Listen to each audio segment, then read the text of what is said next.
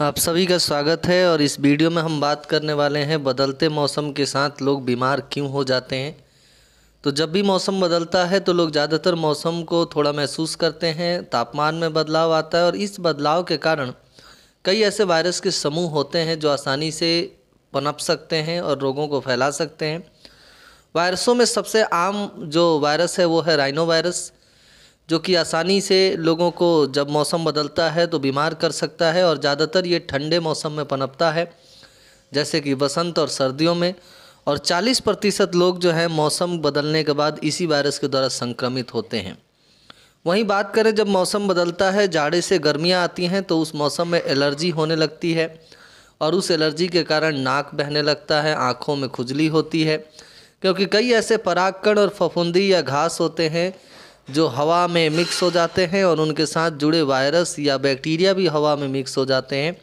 और जब भी हम सांस लेते हैं तो वो हवा के सहारे हमारे शरीर में प्रवेश करके हमें बीमार करते हैं।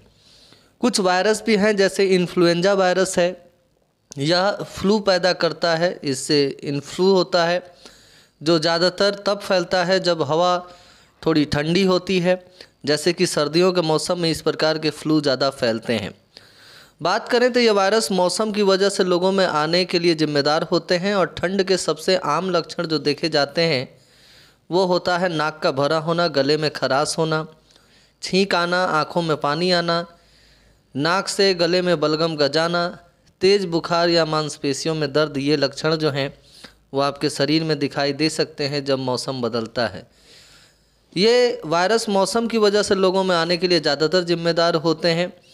और जब भी हम मौसम में बदलाव का निरीक्षण करते हैं तो वातावरण में एलर्जी की गिनती लगभग 200 वायरस तक हो जाती है। यानी कि वातावरण में वायरस की संख्या जो है, वो बढ़ जाती है, जिसके कारण जाड़े के समय में दो से चार बार या पाँच से सात बार आपको जुकाम हो सकता है, कोल्ड हो सकता है। इस प्रकार के लक्षण आपको दिखाई दे सकते हैं। तो कृपया करके आप इस मौसम में जहाँ पे वायरल फीवर ज़्यादा हो रहा है या बहुत सारे लोगों को सर्दी, जुकाम और बुखार हो रहा है, वहाँ पे अपना विशेष ख्याल रखिए और कृपया करके इस चैनल को सब्सक्राइब कर लीजिए और वीडियो को शेयर